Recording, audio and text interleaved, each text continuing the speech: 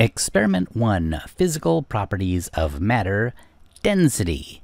These slides should not serve as a substitute for you reading the pre-lab material in the lab manual, but should serve as a extra bonus help assistance for the material in that lab manual.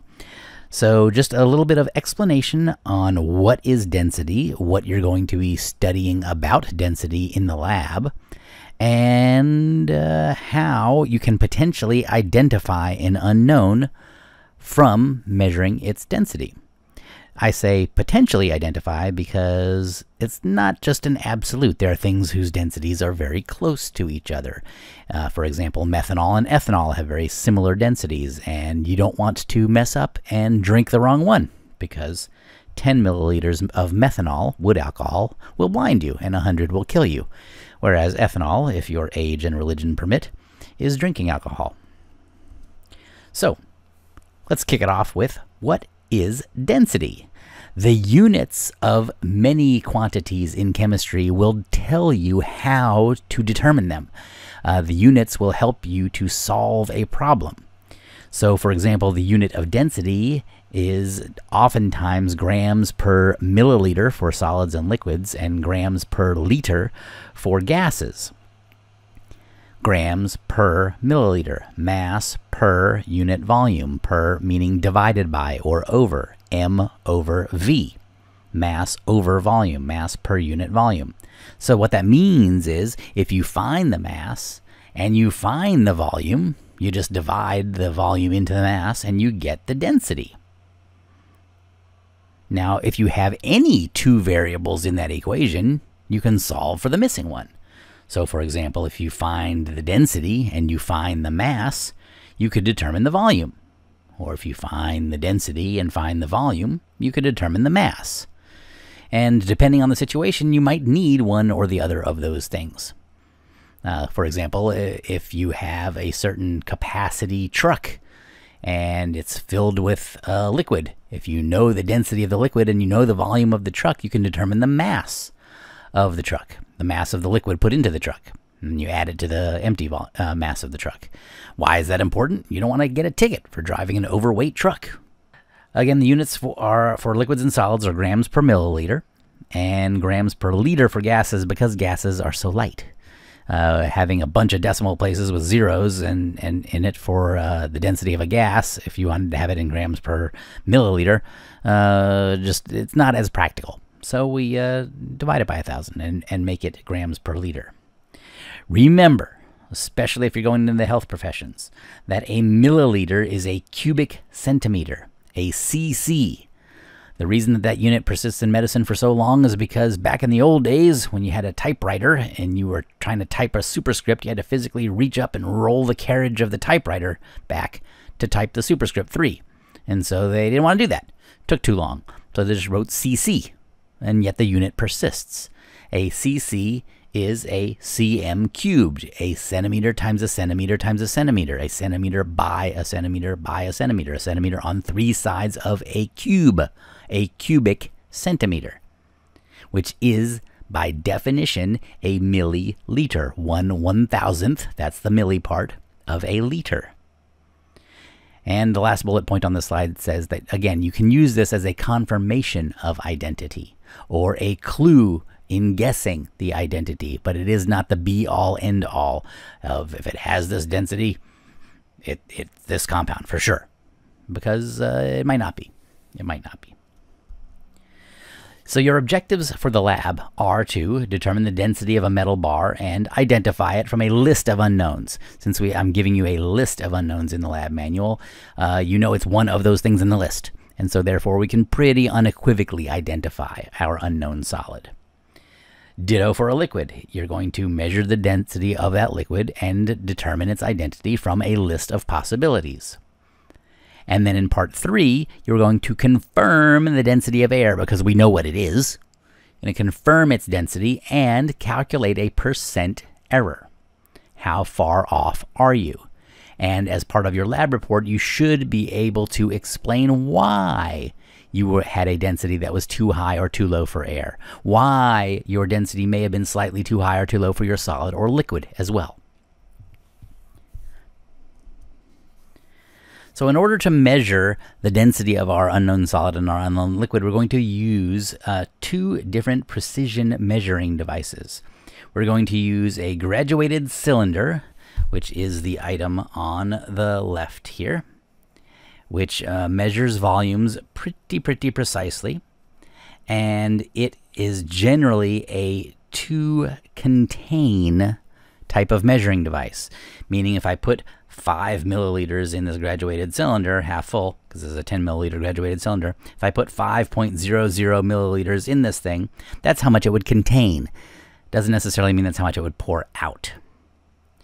The pipette, this thing on the right hand side, which I gave a close up of here, um, typically is a to deliver, TD, measuring volume measuring device, meaning that you fill it up to the 10 milliliter line, and this is plus or minus 0.02 milliliters, really, really, really precise.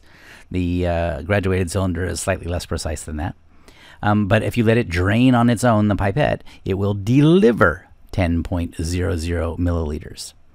This one happens to have also on it a to contain line, uh, which if you fill it to that line and then blow it out, it would it would contain that number of milliliters. But generally speaking, you do not blow out pipettes, and therefore they are almost always, this is an anomaly here, they are almost always to deliver volume measuring devices.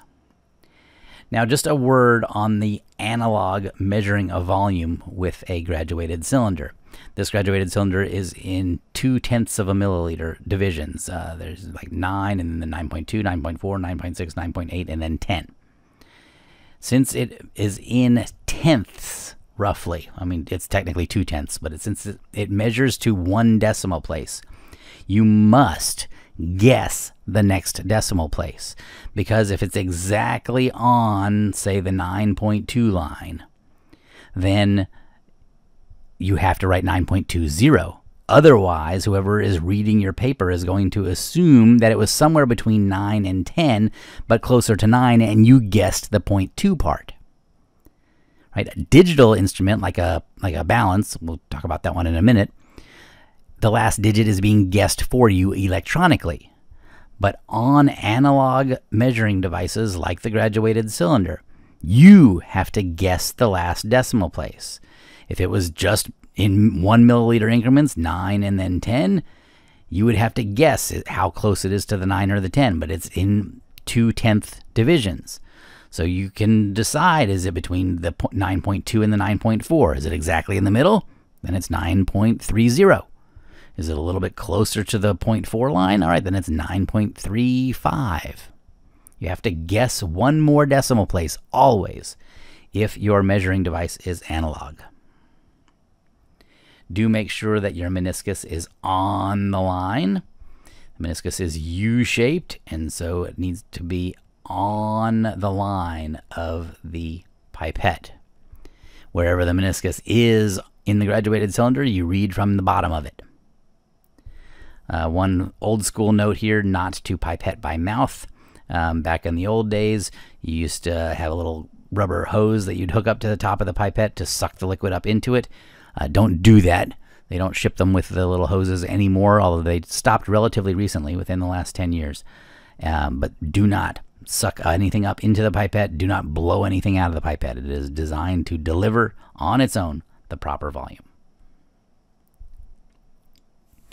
So a balance is just that, a balance and not a scale. A scale measures weight. It's like in your bathroom. Uh, balance is a precision uh, mass measuring device. We say weigh all the time just because it's harder to say obtain the mass of something because that's what you mean. Mass is not a verb. Weigh you can use as a verb. So go weigh it is a whole lot easier than saying go obtain the mass of that thing on a balance. But we always mean obtain the mass. As a rule, the more precise, the more decimal places your balance gives you, the more expensive it is. So the balance on the right here with only two decimal places costs about 200 bucks. The balance on the left here with four decimal places costs about 1200 bucks. They're both digital. The hundredths place, the second decimal place on this balance, is being guessed electronically by the instrument. Uh, somewhere on here would say plus or minus 0.03 or 0.04 or something like that. On the four decimal place balance, 0.0000, uh, the ten thousandths place is being guessed by the balance. You pay for that precision. Treat these balances with great care because you don't want your tuition dollars going to replace balances. You want them to go to paying your professors and giving you a quality education. So you never poured anything directly onto the balance. And if you had, say, a beaker on this pan here and you were adding something to the beaker, you would take the beaker out of the balance first before adding something to it. Sometimes you want to just uh, put a put the beaker on there, but not care about the mass of the beaker, and then you use the tare button, T A R E, which is sometimes it's just simply called the zero button, and that just tells the balance pretend like this beaker doesn't weigh anything. Pretend like this piece of paper that I'm going to put stuff on doesn't weigh anything. How do I do that? By hitting the tare button. Then when I take it off, the balance is going to go negative, which is fine. I'll put my stuff onto my paper or in my beaker, and then I put it back in the balance, and it gives me the mass of only the stuff on the paper or in the beaker, which is convenient and can save you some time. But in some of the labs, it specifically says get the weight of the paper with nothing on it, get the weight of the uh, beaker with nothing in it and make sure that you follow the instructions. A lot of this lab is about learning to follow instructions because when you get a job, there's going to be rules and instructions in that job. And that's the skill that you're one of the skills that you're gaining in the lab. It's not about training you to become a chemist because very few of you have any desire whatsoever to do that. And that's fine. We get that. It's cool. When I was in college, I didn't plan on becoming a college chemistry professor. That's for very certain. And here we are. We're training you to obtain skills that will be of use to you in your job, no matter what that job may be. So here's a question for you What is the reading on this balance? And it's 71.1326 grams. Why did I ask you this very simple question? Because it never fails I look at somebody's data sheet in the lab, and if this was their reading of their balance, they write down 71.13. And I ask, where are the other two numbers? And they look at me and say, huh? Write down all the numbers on the balance. You paid for them. Sometimes they'll say, "Well, but the instructions said uh, to to four decimal places," and I say, "Yes, four decimal places, not four numbers. Four decimal places. That's the number of decimal places on this balance. One, three, two, six. Write all the numbers down. You're paying for that balance. Use the balance." So we can determine the density from the mass and the volume. So if we, in one step, obtain the mass of the bar by putting it on a balance, and in another step, we'd obtain the volume by putting it into a graduated cylinder full of water, not full of water, but that has water in it, and we see how much the water goes up when we put the bar in, well, then we've just obtained the volume of the bar. It's a convenient way of obtaining the volume of irregular solids by submerging them in a liquid.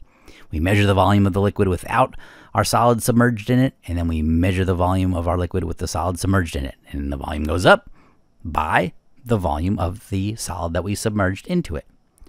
We divide our mass by our volume, and we get our density.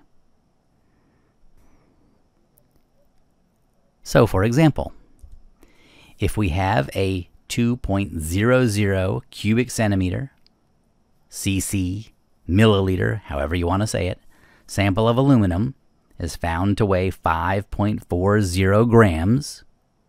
Calculate the density of aluminum. Easy enough.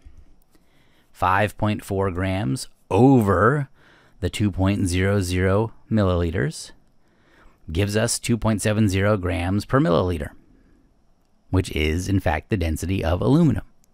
So if you had a sort of silvery, shiny ish piece of metal and it had a density of 2.70 grams per milliliter, you could surmise that it is highly likely to be aluminum, or aluminium if you're from England.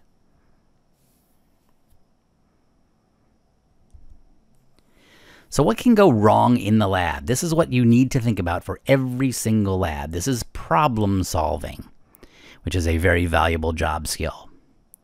What could make your result, your densities, be higher than expected? Is your mass too big or is it too little? Is your volume too big or is it too little? And what might cause the mass to be too high or too low, or the volume to be too high or too low? So you need to think about the algebra involved, mass divided by volume. Would a too big, in quotes, mass result in a density that is too high or too low? And what could cause mass to be, quote, too high? Keep in mind, final bullet point on here, that mistakes are not valid sources of error. I spilled some liquid, so therefore the volume was low. No, that that's not a valid source of error. Okay, you spilled some liquid, correct the problem. Go back and do that step again. All right? Mistakes are not valid sources of error. Blaming the stockroom is not a valid source of error. They must have put the wrong label on the bottle. No, you can't do that. If you want to get into these crazy theoretical possibilities, then what I always say is you could blame it on a rabid monkey running into the lab and pooping in the flask because that is almost as likely as the stockroom putting the wrong label on something. You can't just make up reasons either. Okay, there are inherent things in the lab. Your sample, liquid sample evaporated because uh, the lab was uh, so hot that day. That's a reasonable source of error. If the volume is low because your sample evaporated after you weighed it, then your volume is going to be too low and your density is going to be too high higher than the tabulated value. That's a reasonable source of error. That is not a monkey pooping in the flask or a stockroom person going crazy and putting the wrong label on something. You have to think of valid, plausible sources of error so that it, you can demonstrate an understanding of what is going on in the lab. So, with that, I leave you to it. Enjoy your first experiment and be safe.